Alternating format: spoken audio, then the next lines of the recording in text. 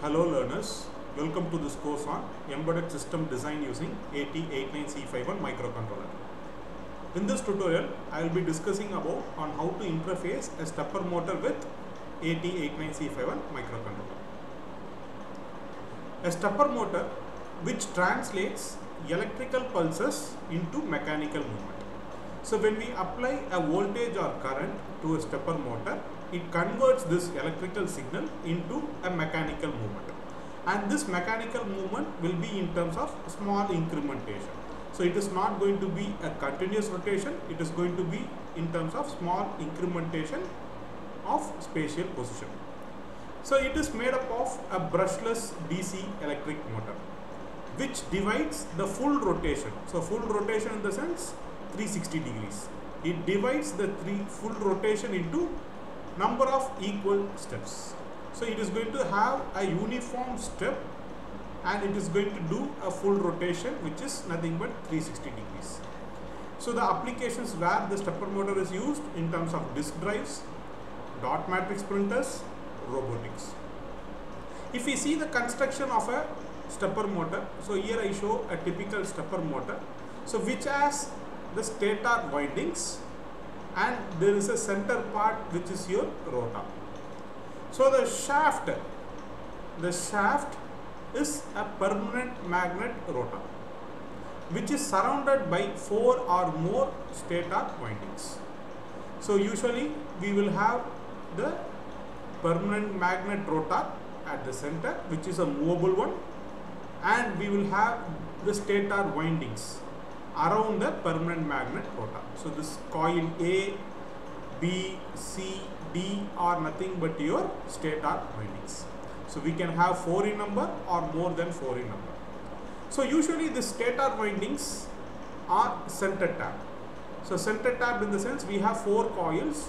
One lead of the coils are left free whereas the other leads are connected and it is taken as a common terminal and this common terminal will be used for supplying the appropriate voltage or current to the motor. So there are different types of uh, motors, unipolar, universal and bipolar motor. So here this type of configuration where I have on one side individual coils and the other side it is shorted and taken as a common terminal it is called as a four phase unipolar stepper motors. So the main advantage of having this center tap is in the sense we can have the direction of current can be interchanged. So the direction of current can be along this direction or it can be along this direction. By changing the direction of current through the coil, we can able to change the direction of rotation. So that is one of the biggest advantage of this stepper motor. And another important thing is the motor's position can be controlled without any sensor feedback. Whereas in case of a servo motor, we need to have a position sensor and this position sensor value should be compared with the user input thereby the control signal will be applied to the motor in case of a servo motor to get a desired position whereas in case of a stepper motor there is no position sensor for feedback so it is completely an open loop controller based system so we have different configurations by which the stepper motor can operate so first i am going to talk about a single phase four step sequence so four step sequence in the sense in the full rotation 360 degrees I am going to take 4 steps. So each step is going to be of 90 degrees. So here we name the coil stator windings as A, B, A dash and B dash and there is a center part which is your movable rotor. So first what we do is we excite the coil A. So after exciting coil A, this coil A will produce a magnetic field. So our rotor will get aligned to that magnetic field. Next in the next time step we will try to activate coil B. So coil B will produce a magnetic field. Now the rotor will change its position and it will get aligned to the magnetic field produced by B. Subsequently we try to excite coil A dash and then B dash. So thereby the magnetic field will be induced depending upon the magnetic field the rotor is going to make its movement. So thereby we get 90 degree step for each time step. So the control words required to make a clockwise movement is here I have shown in terms of a table. So A, B, A dash and B dash. So the coil will get excited when I give 0 to the coil. The supply will be given directly to the common terminal of the stepper motor. So we need to give 0 to the coil thereby the coil gets excited. So in a 4 step single phase sequence first one is the coil A is excited in the second time step coil B is excited in the next time step A dash is excited and subsequent step we have B dash as excited. So this is the control word which I need to give to make the motor to rotate along clockwise direction. If I want to do an anti-clockwise direction, first I should excite A, then B dash, A dash and B. So that will generate the movement along anti-clockwise direction. So there is another sequence which is biphase four step sequence. So here in biphase what we do we excite two coils at a time. So for first we have going to excite coil A and B. So A will produce a magnetic field, B will also produce a magnetic field and these two magnetic fields will induce a resultant magnetic field which will be along the diagonal. So our rotor will get aligned to the resultant magnetic field. Next we will excite coil B and A dash. Same principle is applied. B will produce a magnetic field, A dash will produce a magnetic field and the resultant magnetic field will be at the center between your coil A dash and B. So our rotor will get aligned to that resultant magnetic field. Subsequently A dash and B dash and B dash and A. So thereby again I get four steps in 360 degree rotation. But now we are going to excite two coils at a time. So if we see the control word, first one is we are going to excite coil A and B, then B and A dash, then A dash and B dash, and then finally B dash and A. So these are the control words which should be specified to your stepper motor for its rotation. And the next sequence which I am going to talk about is 8 sequence. Here I am going to have 8 steps which means each step angle is going to be of 45 degrees. So each step will take 45 degree movement. So here what we do, we first excite coil A. So our rotor will get aligned like this. Then we will excite two coils A and B. So now the resultant magnetic field will be at 45 degrees. So our rotor will get aligned to that 45 degrees. Next we will excite coil B alone then subsequently B and A dash, then A dash alone, then A dash and B dash, then B dash alone, then B dash and A. So thereby now in the full 360 degree rotation I am going to get 8 steps. Each step is going to have a 45 degree movement. So the control word for getting 8 step sequences first we will excite coil A alone, then A and B dash, then B alone, B and A dash, then A dash alone, then A dash and B dash, then B dash alone, then B dash and A. So this will provide the motor to move along clockwise direction with 8 steps. If I want anti-clockwise direction, I have to excite the coil in a reverse manner. So if we see a step angle, so step angle is mainly determined by the internal construction of your motor. That is especially the number of teeth on the stator and the rotor. How many stator teeth and rotor teeth are there depending upon that our step angle is going to vary. So what is step angle? Step angle is nothing but the minimum degree of rotation associated with single step. In single step, how much degree our motor is going to move. So that is nothing but your step angle. So we have a terminology called as excitation steps per revolution. So in order to get one step, how many excitation steps are required? So usually what happens is when I give four excitation steps, if I have a stator winding of four, if I give four excitation steps, then one step movement will happen in our motor. So the excitation steps per revolution is nothing but total number of excitation steps needed to rotate one complete rotation or 360 degrees. let us see this with an example.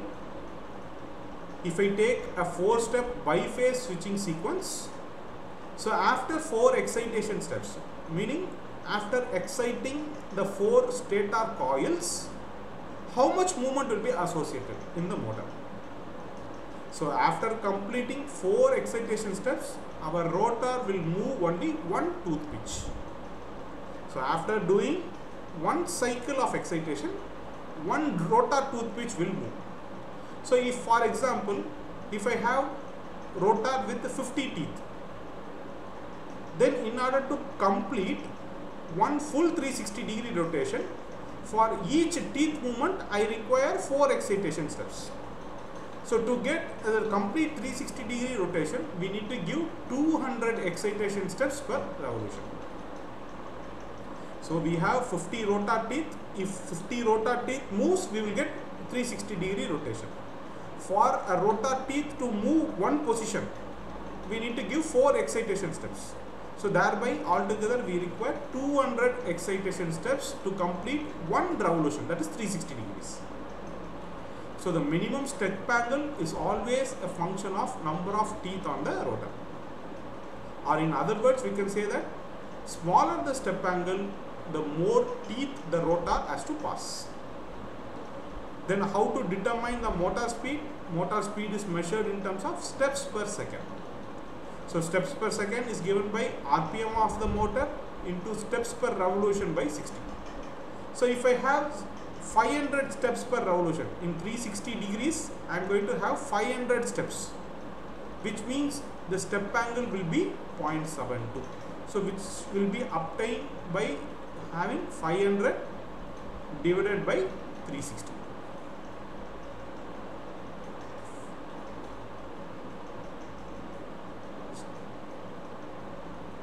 sorry it is 360 divided by 500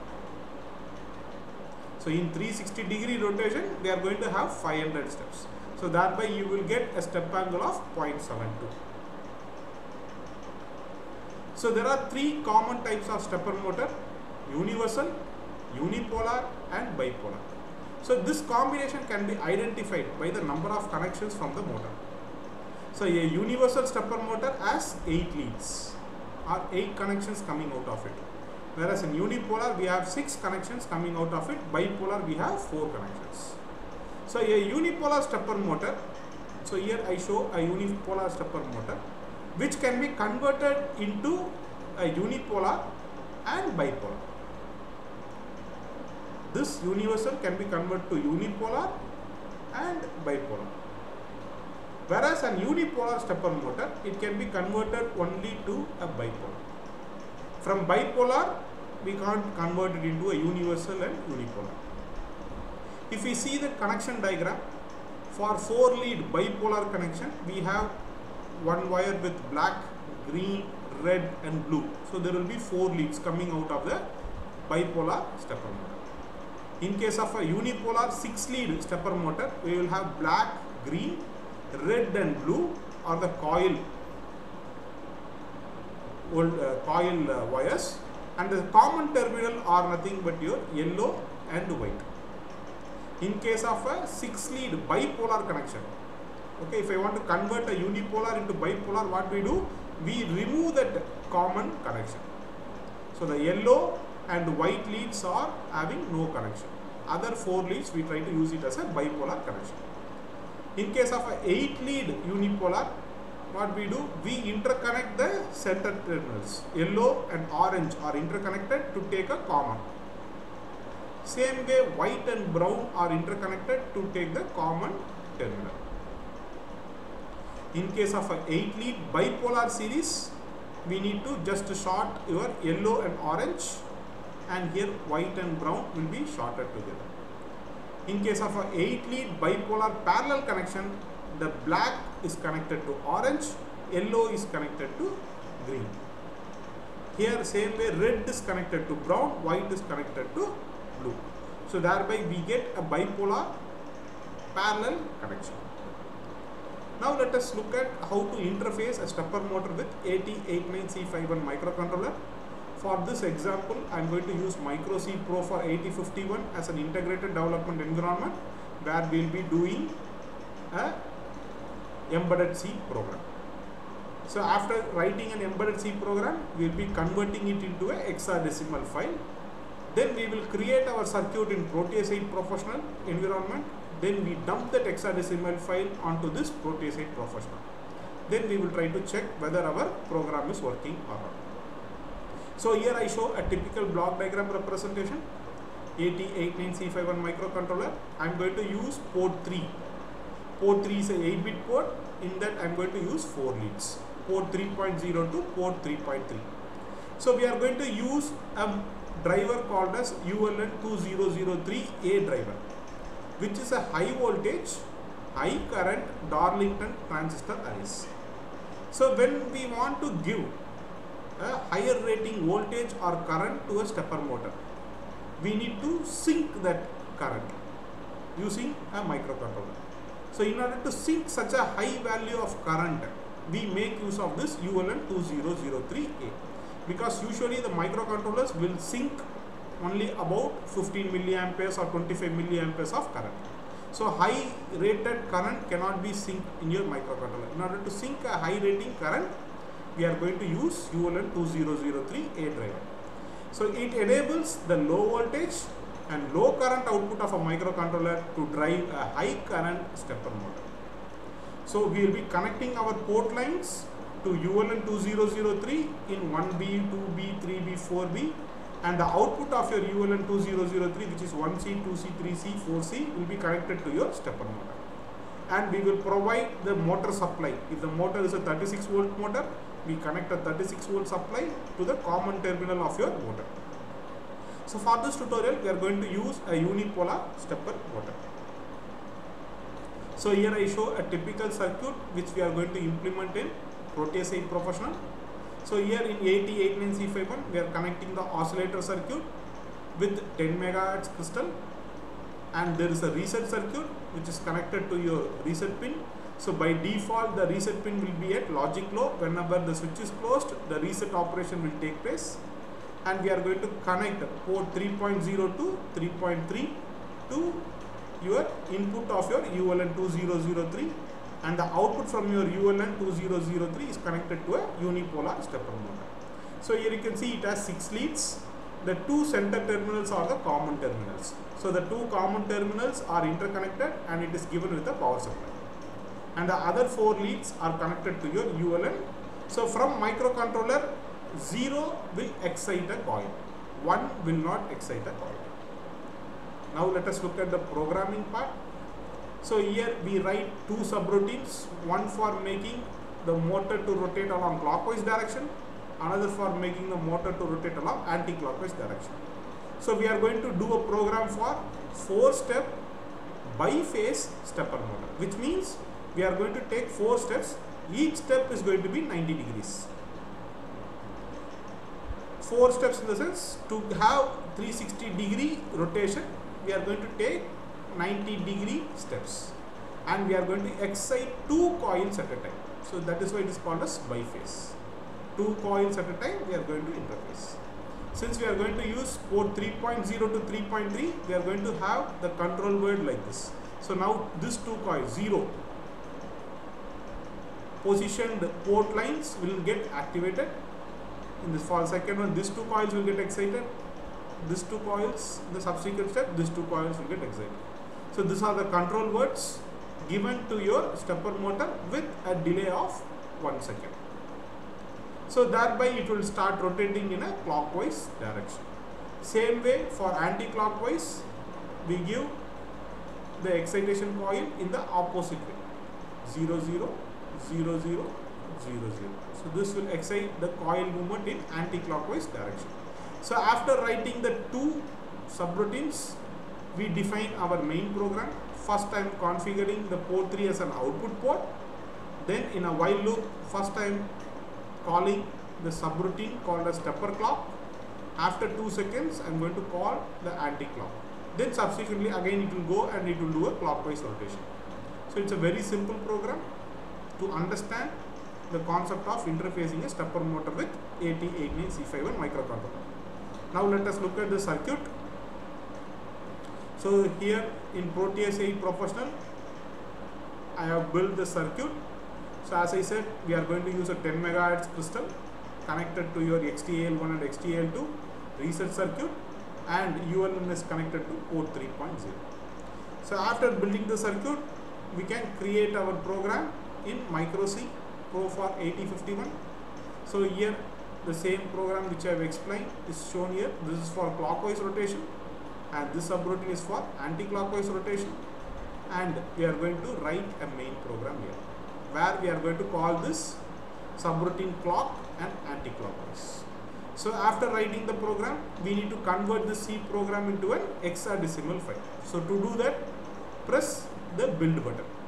So build will compile and also it will convert your embedded C program to a hexadecimal file.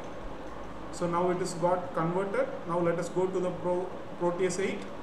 Now we have to dump that program into the IC. So right click on the IC, edit properties, select the hexadecimal file. So this is the hexadecimal file which we have created. Here you can see this is an hexadecimal file. So select this IC, import that hexadecimal file to the IC, then select the clock frequency to be 10 megahertz. Press OK.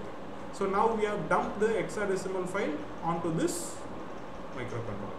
Now let us check the logic of our program by pressing the play button. When you press the play button, okay, now it starts moving in clockwise rotation. After clockwise, it will start moving along anti-clockwise rotation. Now you can see it starts moving in anti-clockwise direction. After anti-clockwise, it will start again moving in clockwise direction.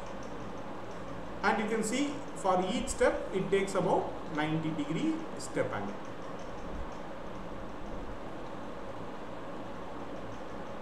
So in this tutorial, I have described about on how to interface a stepper motor with AT89C51 microcontroller. Similarly, we can interface a bipolar and universal stepper motor and accordingly we can do the configuration part. Thanks for watching. Please subscribe for more technical learning. Thank you.